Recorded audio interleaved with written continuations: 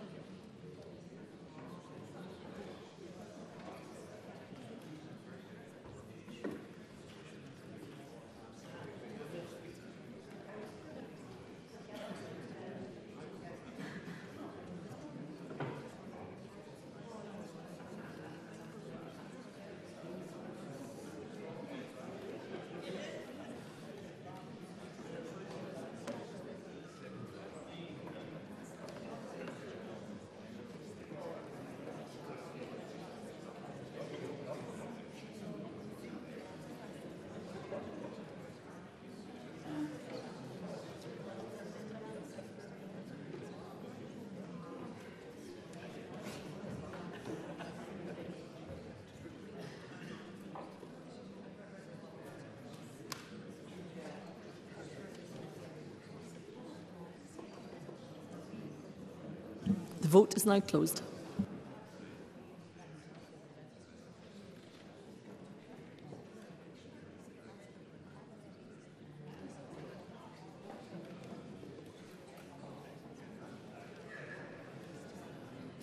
The result of the vote on amendment number 8626.2 in the name of Liam Kerr is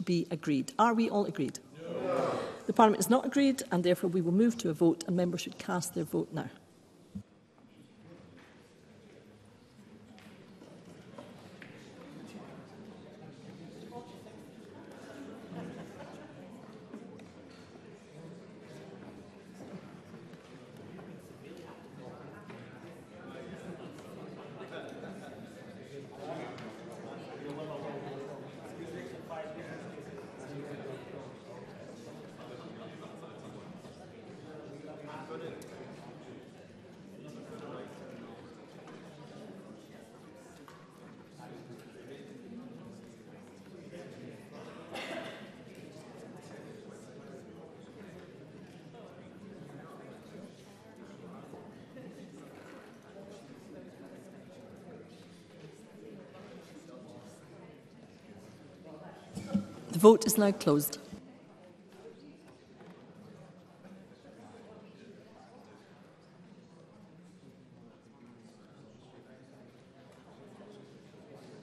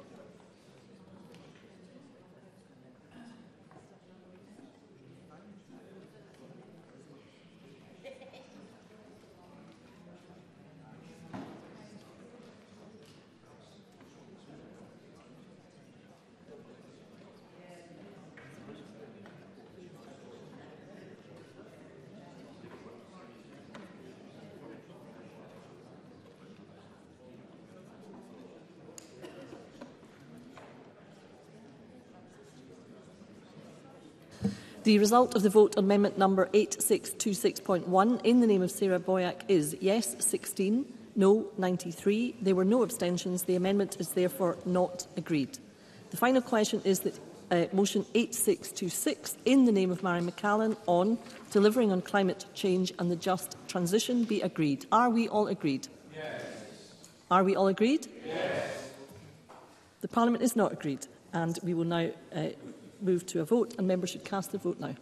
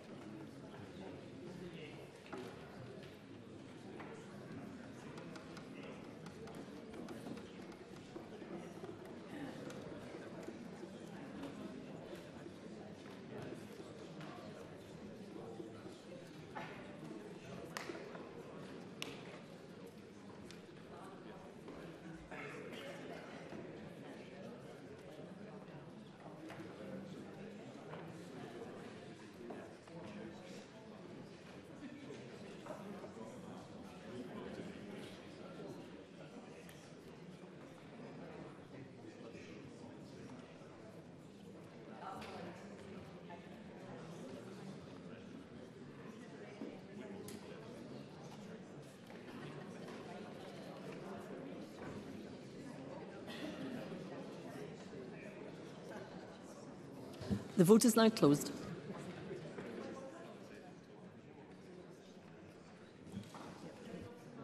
Uh, I, uh, I, uh, uh, Christina McKelvey, point of order.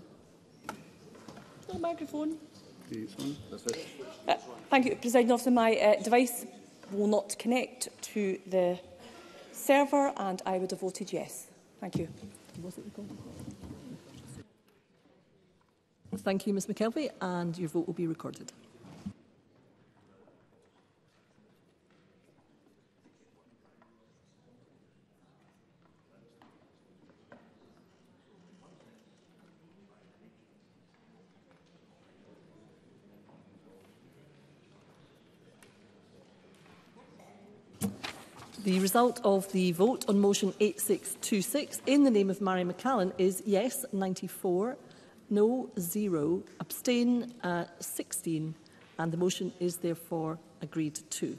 That concludes decision time. Point of order, Edward Mountain. Uh, thank you, Presiding Officer. During First Minister's questions today, the First Minister, in, in reply to Jamie Halgrave Johnson's question about the Corran ferries, said, and I quote, It is our MOD, our ta Scottish taxpayers' money, of course, that helps fund the MOD, inferring there would be no cost if the MOD helped with the Corran Ferry. Um, members, I need to hear uh, Mr Mountain's point of order. Thank you. Just for clarification purposes, the MOD is charged to defend the United Kingdom and it, and it is budget for that. However, the request for assistance for the Corran Ferry ferry has been made through a military aid to the civil authorities request.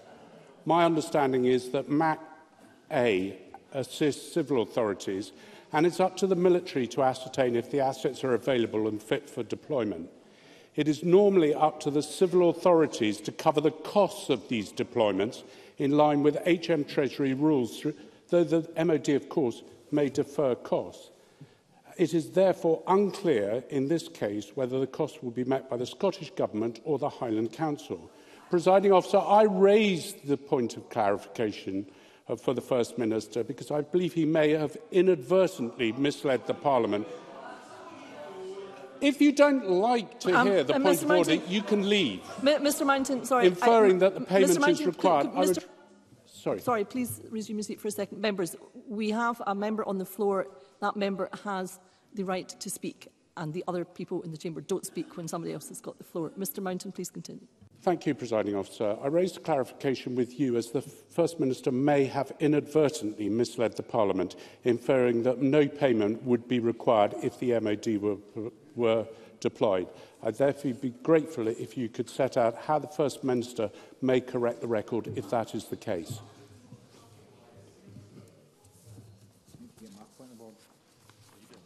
Uh, I thank Mr Mountain for his uh, contribution. Uh, I would advise that that is not a point of order. It's not a matter for the Chair. And it, the process for correction of the record is well known to members, I believe, across the Chamber. Thank you. Um, point of order, Brian Whistle.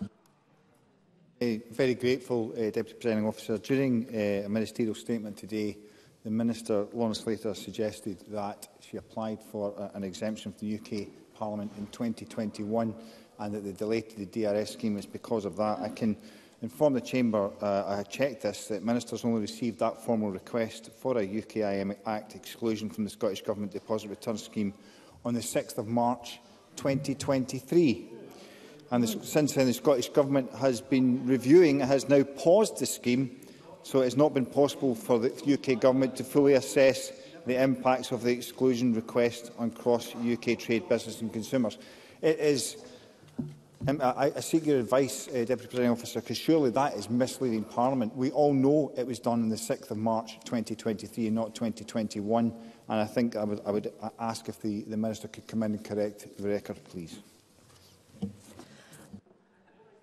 I thank Mr Whittle for his contribution. That also is not a point of order, as it's not a matter for the Chair. And again, I would repeat that the mechanism by which uh, the record be, can be corrected is presumably also well known to Mr Whittle. Thank you. So what I would say is that concludes decision time and uh, there will be a short pause before we move on to the final item of business, which is a member's business debate. Thank you.